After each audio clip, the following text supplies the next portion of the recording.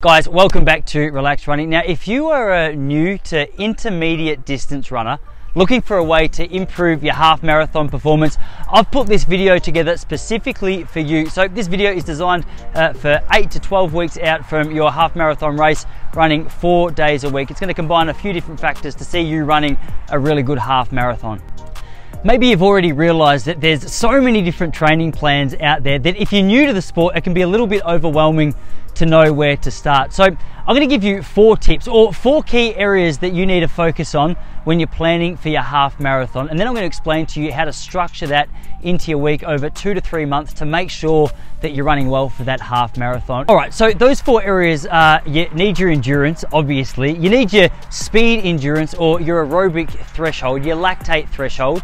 You need to have an easy slash recovery day and also focus on speed. Let me just walk through each of these areas and tell you how I like to structure them into my own training program and the training programs of the athletes that I work with. Now, obviously, endurance speaks for itself. If you're gonna run a half marathon, you need the ability to run for a sustained period of time. Now, depending on how long you've been running or how fit you are, is gonna dictate how far those long runs should be. If you're a pretty confident runner, if you're pretty confident in your ability to run the half marathon distance, I actually like to run a little bit beyond that half marathon distance in a couple of training runs just to make sure that the legs are comfortable, that the body's comfortable with the distance that we're running. If you're a little bit newer to the sport, maybe your goal is going to be to build up to about 16 Ks before your half marathon race. If you can run 16 Ks before your race, it's a pretty good sign that with some people around you, you're going to be completely fine to get through the half marathon. But how do you structure it? Well,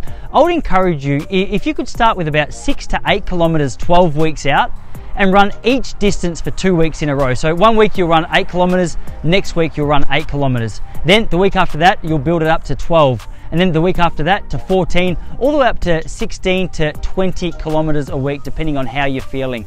The, the reason we do that is obviously it builds that consistency, it builds the strength in your legs, and it also gives you the confidence as well as the aerobic strength to be able to get through that half marathon without too many issues. Second part of your running training that I'm really going to encourage you to do and do it on a Tuesday is your aerobic threshold or your lactate threshold. That stuff which is right on the cusp of being pretty hard for you. The other area of this training session that I like is it allows us to actually push a little bit faster than our goal half marathon pace. The beauty with that is if we can go faster than our half marathon pace in training, when we get to half marathon race day, then our goal race pace feels a little bit easier.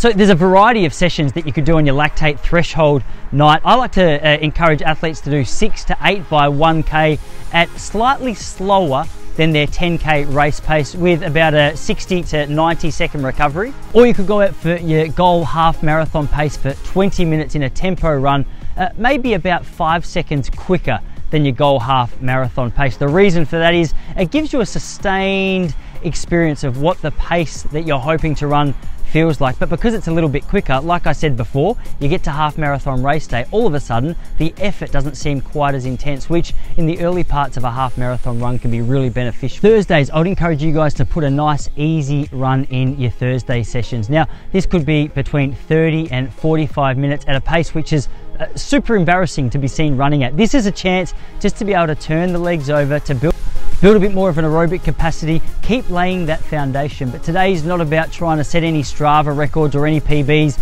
It's simply about recovery and about building that strength and consistency. So we, when, when we get to the more difficult sessions, we're fresher, we're ready to get out there and put in the work which we need to put in.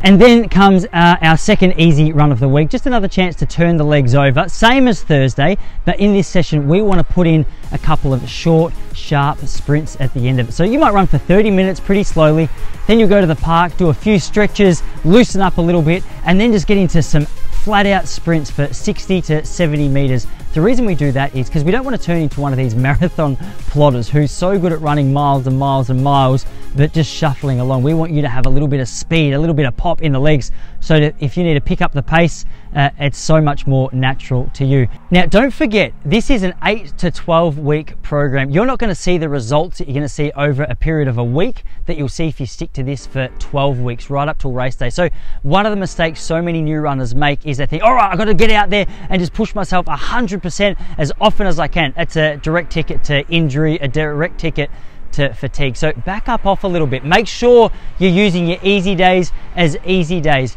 I can promise you that if you can put this together for 8 to 12 weeks, the benefits that you'll see there is so much better than just being a hero for a week. So trust me, patience and consistency seems to reward all distance runners and you are not excluded from that. If you want more guidance or if you're looking for a specific coach, you and I can work one-on-one. We can work together on a monthly basis or an annual basis. Jump over to relaxedrunning.com, click on the coaching tab to see what it is we offer, to see if that could be a good fit for you.